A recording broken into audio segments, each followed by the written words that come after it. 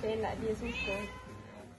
Biarpun berat mata memandang, berat lagi bahu memikul. Namun Halimah Abdul Razak, 47 tahun, tidak pernah merasa lelah menguruskan ibu dan kakak yang mempunyai pelbagai komplikasi penyakit.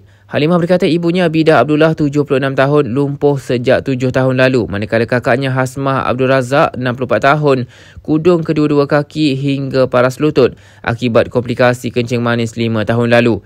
Katanya ibunya hanya terlantar dan memerlukan bantuan untuk makan dan membersihkan diri selain perlu memakai lampin pakai buang setiap masa.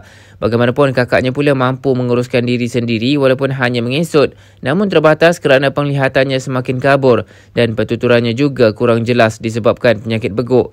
Terdahulu mereka dikunjungi pengerusi Pertubuhan Kebajikan Penduduk Mukim Parit Pasir Tumbuh Wan Azizi Wan Abdul Ghani yang turut menyampaikan sumbangan barangan keperluan asas dan wang zakat bagi mengurangkan beban ditanggung. Dalam lawatan berkenaan juga kaki tangan klinik kesihatan peringat termasuk doktor dan jururawat turut serta untuk melakukan pemeriksaan kesihatan.